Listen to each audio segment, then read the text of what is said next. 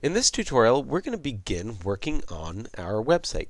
Now, the very first thing always in Dreamweaver is to make sure that you create a website definition, because if you don't make a website definition, you could uh, mess up your website. So let's make sure that we go to Manage Sites. We're going to create a new site and this will be um, you can name it whatever you like. I like to go to the uh, Advanced tab because it's a little bit easier. Just local info, that category has um, exactly what I need. So we need to have a site name just so we can refer to it. This will be DuPont website. And um, I need to point it to the right folder. And this is the only folder that you have to point it to, the local root folder. So I'm going to click on the folder name, go to my desktop, under video tutorials and go to DuPont website because that's the folder which is the, the default folder or root folder for this website. Now I'm using um, a student's project um, as an example because uh, it has exactly what we talked about you know during the um, previous uh, tutorials. Anyway, click OK and done and you should now see um, all the files that you have in that website. And you can double click on a file and if you go to to uh, your design view, you should be able to see exactly how that page looks.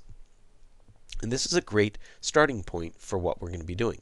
Now, it's very important that we clean up the website before we go on. So I'm going to close that page and let's do make sure that we have everything correct before we go on. Now, it's very, very important that you do this in Dreamweaver because Dreamweaver will fix our code.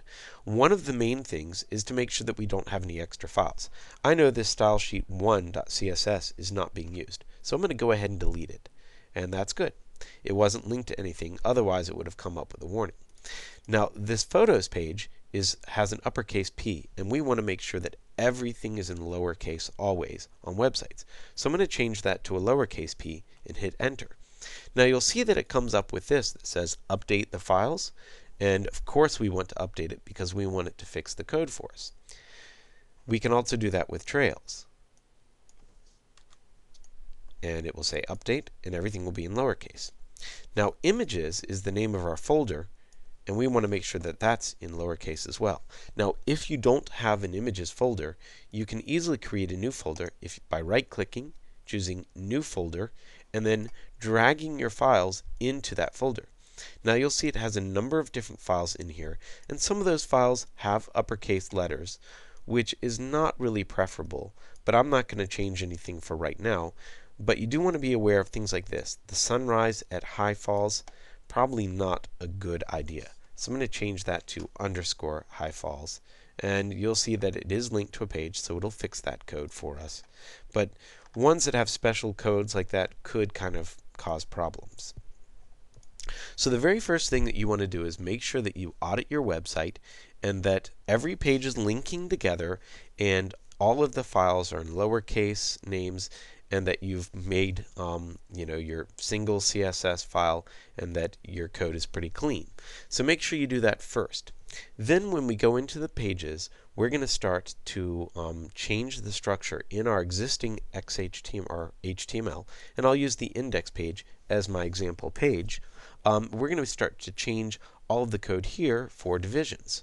Now, if I go to the code, you'll see that we have all this stuff like tables, um, and we have nav. Let's see, this says td class equals nav bar.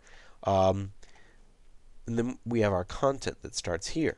And we're actually going to be changing all of that out for a new division-based structure. So let's begin to do that in the next tutorial.